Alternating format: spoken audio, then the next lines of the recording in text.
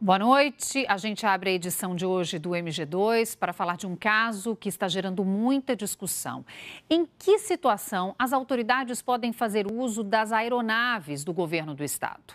O Ministério Público de Contas de Minas Gerais, órgão do Tribunal de Contas, pediu hoje a abertura de inquérito para apurar as circunstâncias de uma viagem de helicóptero pelo vice-governador Paulo Brant no último domingo. Foi neste spa de luxo em Nova Lima, na Grande BH, que um helicóptero do governo de Minas pousou no domingo para buscar o vice-governador Paulo Brant, do Partido Novo, e a mulher dele.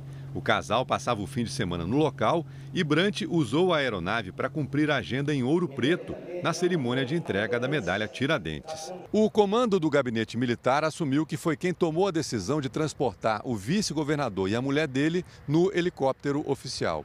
O comando confirmou que depois da cerimônia em Ouro Preto, a aeronave trouxe o casal de volta a Belo Horizonte. O porta-voz do gabinete militar afirmou que a decisão está amparada no interesse da segurança de uma autoridade. Nós estamos com a BR é, passando e com uma, uma operação é, de tráfego restrito em virtude da possibilidade de rompimento de uma barragem. É, o volume de, de, tráfego, a intensidade de veículos na rodovia era muito grande. Então, na avaliação do gabinete da segurança, do deslocamento da autoridade, nós entendemos que era melhor fazê-lo pela via aérea. Mas o Ministério Público de Contas decidiu abrir um inquérito para apurar se houve mau uso de dinheiro público.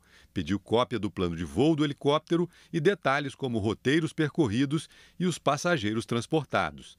O tamanho da frota e o uso das aeronaves foram muito criticados durante a campanha eleitoral pelo então candidato Romeu Zema, do Novo, e logo depois de eleito. Tem uma mini força aérea à disposição do governador. Você vai vender aeronaves? É muito provável Venderia? Que a, é, é muito provável que a gente venha dispor dessas aeronaves, vamos analisar isso e venhamos a alugar quando necessário. Em fevereiro, o governador anunciou providências numa rede social. Estamos acabando definitivamente com a farra dos aviões em Minas. Acabo de colocar à venda o primeiro deles, um Learjet. Nunca mais Minas vai ser o estado que vai ficar levando o governador e seus familiares para compromissos particulares. Temos de respeitar o dinheiro que o povo mineiro paga de impostos. Segundo o governo, dois aviões foram vendidos. Outros dois aviões e um helicóptero continuam à disposição do governador. O portal da transparência do governo mostra que Zema utilizou aeronaves 16 vezes entre janeiro e março em agendas oficiais. Hoje, o governo divulgou nota dizendo que, levando em consideração questões de segurança, tempo e mobilidade, chegou-se à conclusão de que o governador precisa locomover-se também em aeronaves do Estado o assunto repercutiu na Assembleia Legislativa.